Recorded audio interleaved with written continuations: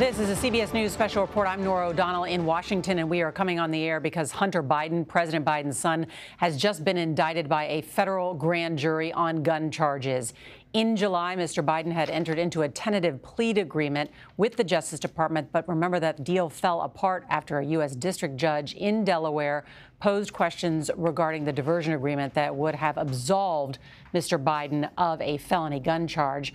This indictment comes a week after the Department of Justice Special Counsel David Weiss indicated to the court that his office would charge Mr. Biden before the end of the month.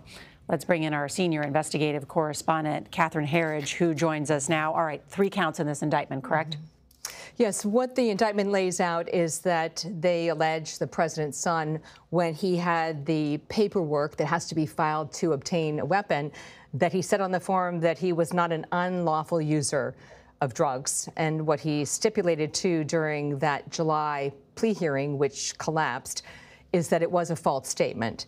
So as you, so just to back up for those sure. who haven't been following it sure. very closely. Mm -hmm Hunter Biden, who is an admitted, was an admitted drug Correct. user and is now in uh, in therapy for that he bought a gun, and when you buy a gun, you have to fill out ATF forms, and you have to right. lawfully state that you are not a drug user or using substances. He lied on those forms. Yes, that's right. Um, what strikes me about the indictment is that he is being prosecuted for being sort of an unlawful or prohibited person from obtaining a weapon, but I don't see uh, what they call here a false statement charge, which was one of the issues that was raised by the court back in July, because it can be a, a two-pronged prosecution, one for the possession, mm -hmm. and then also for the false statement on the form. All right. Let's bring in our chief White House correspondent, Nancy Cordes, who is there. And Nancy, uh, many people close to the Bidens had predicted that this indictment would come at some point.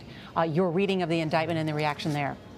Uh, well, we're unlikely to get much reaction, Norah, here at the White House. We've asked, but they typically uh, try to stay as far as they as they possibly can from Hunter Biden's legal issues. When pressed, when asked, uh, the president has always said that he's proud of his son, that he stands by his son. Um, but as for White House officials themselves, they insist that the White House has nothing to do with DOJ's prosecution of this case, and they don't want to create the appearance that they're putting their thumb on the scale in any way. So they're unlikely to say say much. Obviously, where things get muddy uh, is where this situation overlaps with the ongoing impeachment effort by some Republicans in the House of Representatives. Just this week, the House Speaker Kevin McCarthy announced that he would be opening an impeachment inquiry, arguing that there are allegations that uh, the president benefited in some way from his son's overseas business dealings. And what the White House has argued is that Republicans have already been investigating this for nine months. And while they have turned up allegations, they have not turned up any actual evidence that the president did anything wrong. Nancy Cordes at the White House. We should note that David Weiss, a U.S. attorney who was appointed by Donald Trump, has been investigating Hunter Biden since 2018. Just recently, his position was elevated to special counsel by the Attorney General Merrick Garland. The news at this hour is that Hunter Biden, the son of the president, has been indicted in a Delaware federal court of three counts tied to the possession of a gun while using narcotics. Two counts are tied to the fact that uh, Hunter Biden allegedly filed this form claiming that he was not using illegal drugs at the time of a purchase of a Colt Cobra revolver. That was in October 2018. The third count alleges that he possessed a firearm while using a narcotic. Want to bring back in our senior mm-hmm. investigative correspondent, Catherine mm-hmm. Herridge. So, Catherine, what happened? This investigation has been going on a long time. Mm-hmm. There was supposed to be this plea agreement. What was in that plea agreement? Why did it fall apart? Well, if we head back to the end of July, we had the hearing in Delaware, Norah, and there were two elements to the plea agreement. One had to do with alleged tax violations, and then the other was for the gun charge, which would be dealt with under what's called the diversion agreement, which meant that the president's son, if he abide by a set of terms, he would be able to wipe the slate clean at the end of those two years.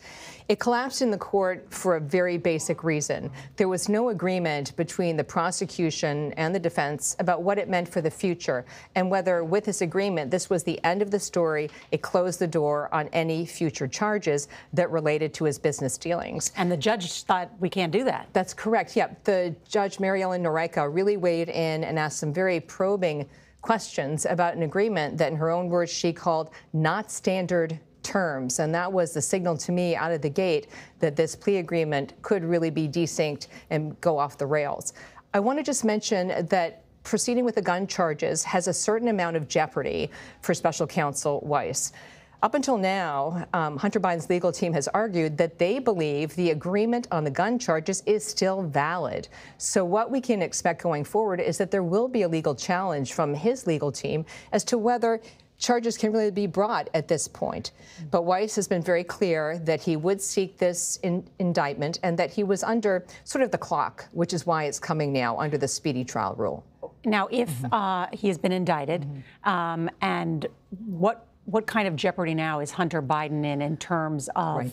these, this indictment? Look, these are very serious uh, gun charges, felony gun charges, based on my research, and that can bring very hefty fines as well as jail time.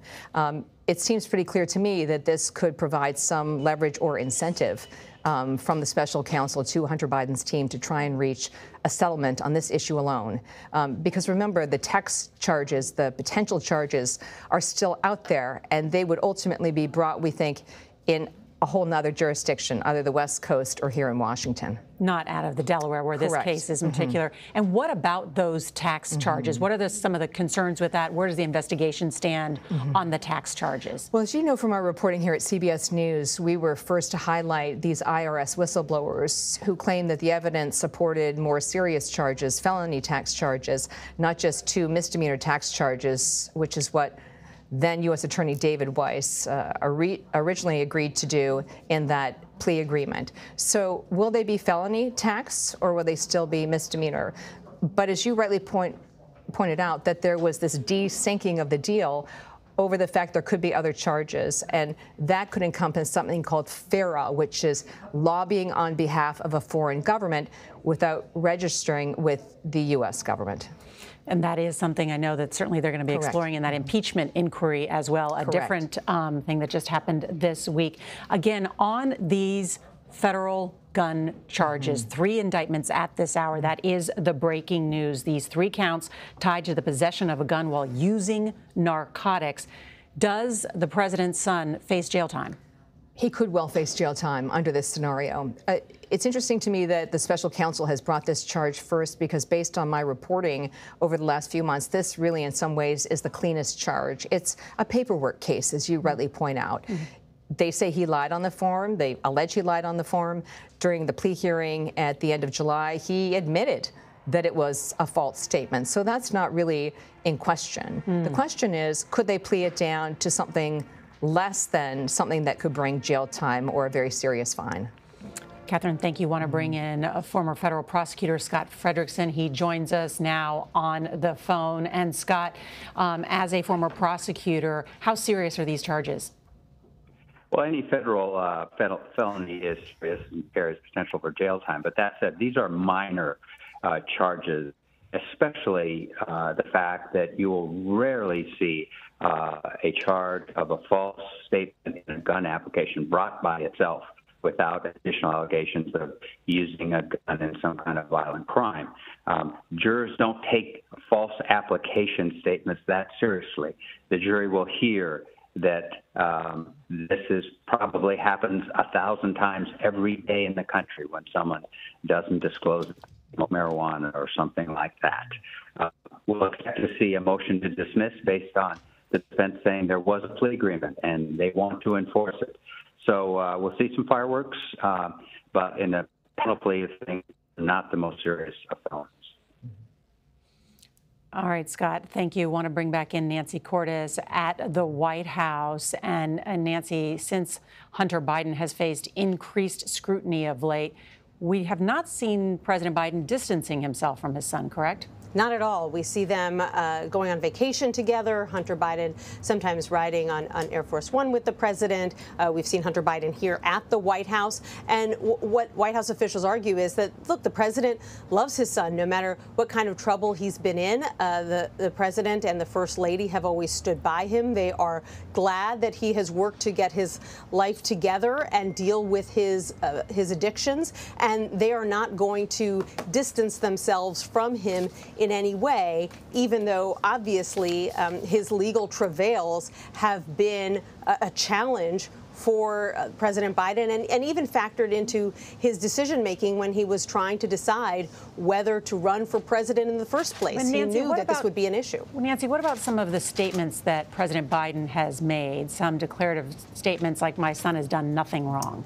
Right. And, and he has said that in the past. We haven't heard him say anything like that recently. So I do think that that is notable. He's uh, more careful now, uh, either to sort of laugh off questions uh, or simply say, you know, you have to ask DOJ. I support my son. I love my son. And I think that that is a, a recognition that um, that there is this uh, this this dangerous line that he has to be careful not to cross because he's been so adamant to argue that that he runs this White House differently than his predecessor. That he doesn't try to lean on the Department of Justice to uh, to go after anyone or to go easy on anyone. Uh, that is the case that he's made all along. And so if he were to be making declarative statements like that, um, you know, coming out frequently saying uh, my, my son shouldn't be prosecuted, my son uh, didn't do anything wrong, uh, th that Republicans would argue, uh, and I think even some Democrats would argue, uh, would be putting his thumb on the scale.